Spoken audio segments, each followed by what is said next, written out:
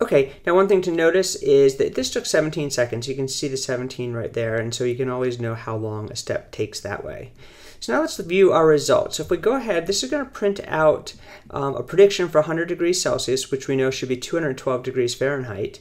And then it's also going to show us the weight and the bias. And so we talked about how the weight and the bias help make that equation that we see. So in this case, we had 1.84 and a bias of 26, and together they produced an output of almost 211 degrees. So not exactly correct, but pretty close. Okay, and we didn't necessarily do a lot to get there. We had very little training data.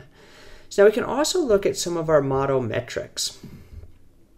So our model metrics here are going to show us what that loss is. And so remember, the loss is essentially the difference between the predicted value and the expected value as it goes through the model. And so you can see, even after 100 times through the data, it still had a pretty big loss. But as we got down, the loss magnitude got much smaller um, and it got pretty close. Still didn't get down to the bottom, so we could have probably run some more epochs and gotten a little bit better data, but that's okay. We're going to stop at 500.